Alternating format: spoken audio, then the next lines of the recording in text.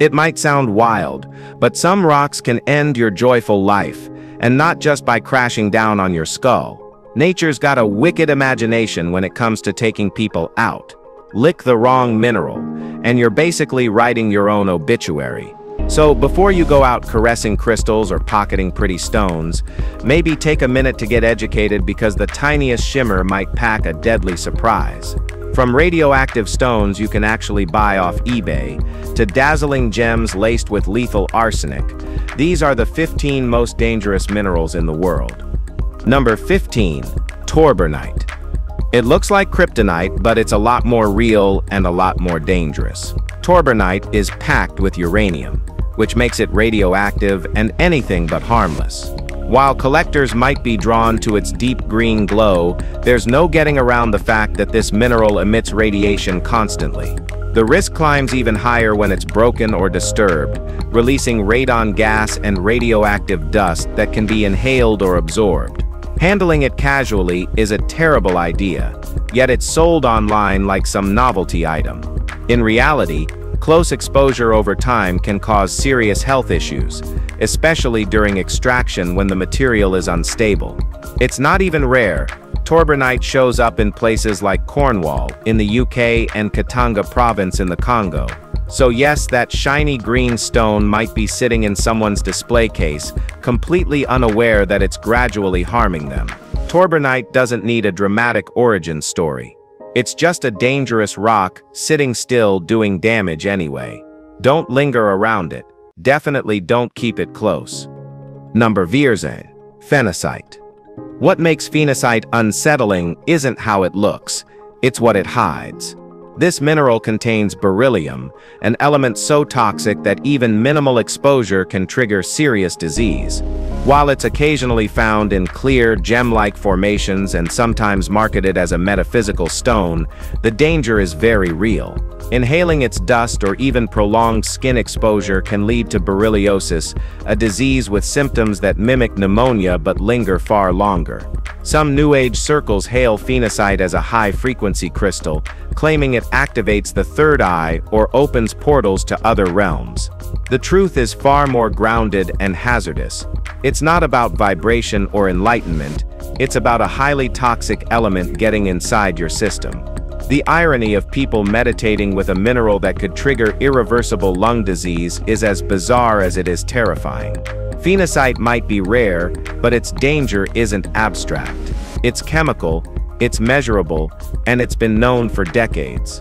Handling it like a toy or a trinket, well that's a gamble. Number 13. Orpiment. Bright yellow, almost golden in appearance, Orpiment is one of those minerals that tricks you with its beauty. What's inside, though, is arsenic, and we mean a lot of it. Composed of up to 60% arsenic, this mineral was once used in pigments for its stunning hue. Artists from the Renaissance to ancient Egypt used it to decorate tombs, scrolls, and palaces. It's been found in Tutankhamun's tomb and even smeared across the walls of the Taj Mahal. Caligula reportedly tried smelting massive quantities of it, chasing the myth that it might turn into gold. That didn't work, of course, and the fumes were likely lethal. Despite the brilliant color, handling orpiment without serious care can be dangerous. Breaking it down releases arsenic dust, and exposure through skin or air can lead to major toxicity. Its historical value as a pigment doesn't erase the reality. Orpiment is poison in a pretty disguise. And while it's no longer used in art, pieces of it still circulate among collectors, most of whom probably don't know what they're really holding. Number 12. Cinnabar. Cinnabar might be pretty in a rich wine red kind of way, but don't get it twisted. This stuff is dangerous. Also known as mercury sulfide, it's been used for centuries to refine elemental mercury and plenty of other questionable purposes. Formed around volcanic seams and alkaline hot springs, cinnabar's history goes way back. Artists used it to make vermilion paint, a bold red that gets deeper the more it's ground. Unfortunately, grinding it also makes it easier to inhale or absorb, which is where things get deadly. In Pompeii, archaeologists found walls coated in cinnabar pigment and even jars of it in paint shops. Romans loved the color so much, they used it on statues, walls, and even painted their own bodies during festivals. Today, vermilion still exists, but it's mostly synthetic. The original mercury-laced version, not so much. The ancient world got its brilliance at a steep cost, and some unlucky medieval alchemists probably paid that price with their lives. Art was never safe. Cinnabar just made that fact literal. Number Elf. Quartz. Well, you wouldn't expect danger from something this common. Quartz is just everywhere, inside mountains, riverbeds, and even countertops. It's the second most abundant mineral on Earth. So why is it on this list? Not because of its chemical makeup or radioactivity, but because of the fine dust it produces when cut, ground, or processed. That dust is loaded with silica, and when inhaled it settles into your lungs and stays there. Over time, repeated exposure causes serious health issues like silicosis and lung cancer. This is especially dangerous in industries like mining, glass production, and construction, where workers often face daily contact.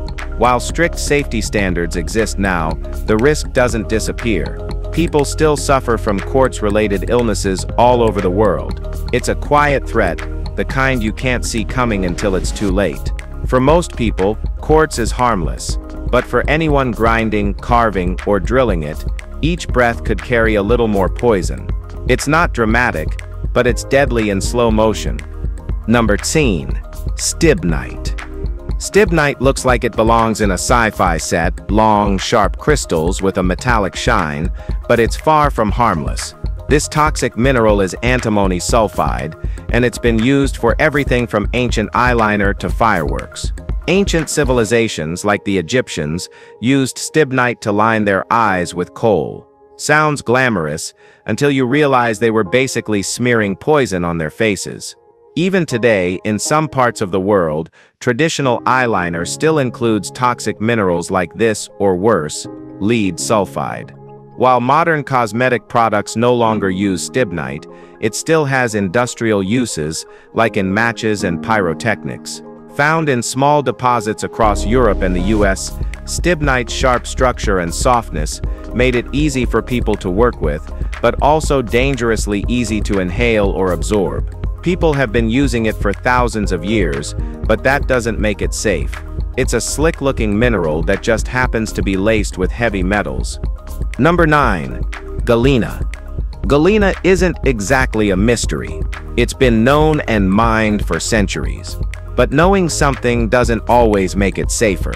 This is the primary source of lead, metallic, heavy, and naturally occurring in large chunks.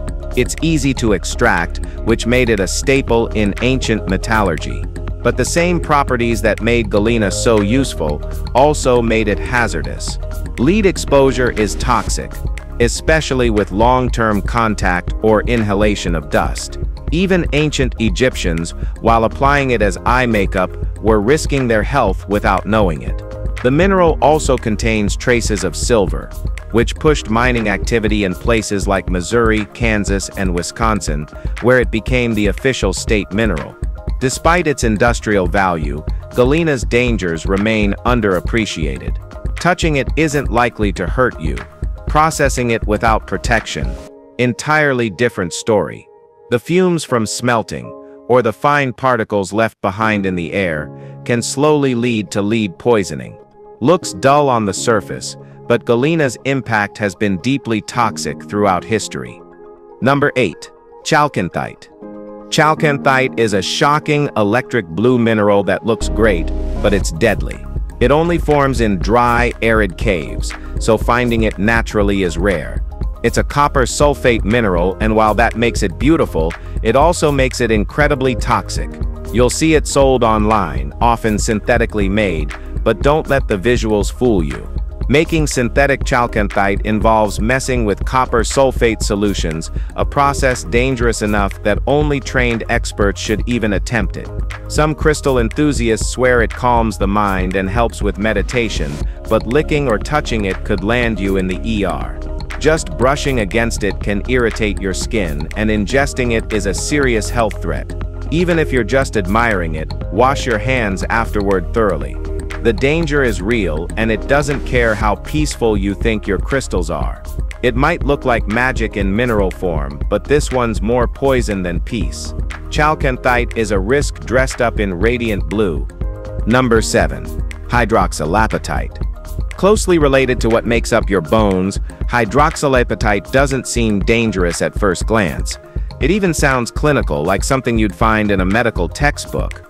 But under the wrong circumstances, it becomes a real threat. While it's true that it breaks down into calcium and phosphate, both naturally found in the body, problems begin when too much of it enters your system the wrong way. This usually happens through ingestion or exposure in supplement form, not direct handling. When overdosed or poorly regulated, it can contribute to the formation of kidney stones, hard, sharp crystals that can wreak havoc on your urinary tract. Despite what some fringe health claims might suggest, eating or supplementing with this mineral without medical supervision is a terrible idea. There's nothing mystical about it. It's biology, and biology bites back when overloaded. Just because something mimics a natural structure doesn't mean your body wants more of it. Hydroxylapatite may not kill, but it will make you feel like it's trying to. Number 6. Riebeckite. Sometimes known as blue asbestos, this mineral has a serious identity problem. It looks different, but it's just as deadly. Riebeckite can be harder and more rock-like than traditional asbestos, forming in volcanic settings with deep blue or black crystals. It's often found alongside granite and other igneous rocks, especially in regions like Arizona, Colorado, Portugal, and even South Africa. Its most unique claim to fame, the specific kind mined on Ailsa Craig, a Scottish island, is used to make curling stones. Yes, the same sport with sliding stones and frantic broom sweeping. It sounds harmless enough until you remember that blue asbestos, its close cousin is infamous for lung damage and cancer. While the crystal form is denser and less fibrous, it's still part of the same hazardous family. Disturbing it can create fine dust particles that cause irreversible harm when inhaled. Its use in sporting goods adds a strange twist, but don't let that fool you. Riebeckite doesn't have to look fibrous to be lethal, it just needs to break. Number 5. Asbestos. Most people know asbestos is bad news, but here's the real kicker. It's not man-made, it's a naturally occurring mineral. That's right. We didn't invent it, we just found it and decided to stuff it into buildings worldwide. Because asbestos resists heat, corrosion, and electricity. It's handy, but not safe. Asbestos is made of delicate fibrous crystals that break apart easily and float through the air. Inhaling that dust, game over. We're talking lung cancer, mesothelioma, asbestosis, the works. It wasn't banned in the UK until 1999. And in the US, still legal in some construction materials. That means millions of homes and buildings still hold this silent killer inside their walls. It doesn't burn, it doesn't rust. It doesn't quit. But it does kill. Slowly. And without warning. So if you're tearing down old drywall or sanding insulation, you might want to think twice. The dust you breathe might be more dangerous than anything else in the room. Number 4. Pyrite. The shine of pyrite has tricked more prospectors than anyone would care to admit. It earned the name Fool's Gold for good reason. Its brassy glint and cubic shape have fooled even seasoned miners. But aside from the embarrassment of mistaking it for gold, pyrite has a more useful side. It was once essential for starting fires when struck, it produces sparks strong enough to ignite kindling. That's actually where its name comes from, drawn from the Greek word for fire, pyros. But while it's not truly gold, pyrite has helped in finding the real stuff. It's often discovered near gold and copper, making it a sign that valuable deposits might be close. What it lacks in value, it makes up for in function. Still, despite the practical uses, pyrite has led countless people down dead ends and empty dreams. A glittering stone with no mercy for hopeful eyes. It's nature's way of saying, if it looks too good to be true, it probably is. Number 3. Feldspar. Not every threat looks dramatic. Feldspar is everywhere. making up over half the Earth's crust, and yet it's far from harmless. As a flux mineral, it's heavily used in the production of ceramics, tiles, and glass. On the surface, that sounds practical, but when processed, it reveals another side. Small amounts of uranium embedded in feldspar can break down into radon gas, a radioactive byproduct that's been tied to lung cancer. In some cases, industrial-grade feldspar contributes to harmful emissions, especially when improperly handled. Though not overtly poisonous, it doesn't need to be. Continuous exposure during mining or refinement makes it a slow-burning risk. Most people won't run into it in harmful ways, but in workplaces without strict protocols, feldspar becomes more than just background material. And while it won't instantly make headlines like arsenic or asbestos, the danger lies in its volume, its presence, and how quietly it operates. Not flashy, not rare, just constantly around, doing damage in silence. Number 2. Fluorite. Fluorite's clean, cubic formations and neon-bright glow under UV light make it a favorite for collectors. But for something so widely admired, it comes with a long list of chemical complications. While it's mostly made of calcium and fluorine bonded together, the element fluorine on its own is about as toxic as it gets. In this mineral form, it's stabilized, but not entirely harmless. Fluorite's most infamous use, hydrofluoric acid production. That's the acid strong enough to eat through glass and seriously harm human tissue on contact. Beyond the lab, fluorite shows up in the making of ceramics, steel, and even optics like lenses and camera equipment. It's not immediately dangerous to touch, but grinding, heating, or improperly processing it can turn it into a major hazard. Mishandle fluorite in industrial settings, and you're one step away from trouble. Most people think of it as harmless or decorative, but that's only true if you leave it alone. Push it too far and fluorite reminds you it's chemically loaded. Number 1. Hutchinsonite.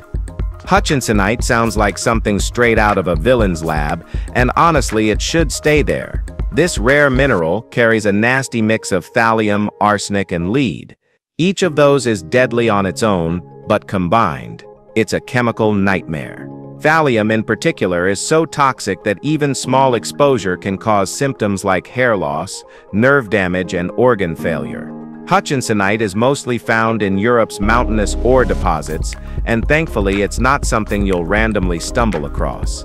It forms in very specific geological conditions, but when found, it must be handled under the strictest safety protocols. This is not your average rock, it's not something to collect, polish, or store in a display case.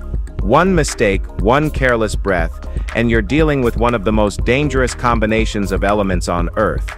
This mineral doesn't just whisper danger, it screams it.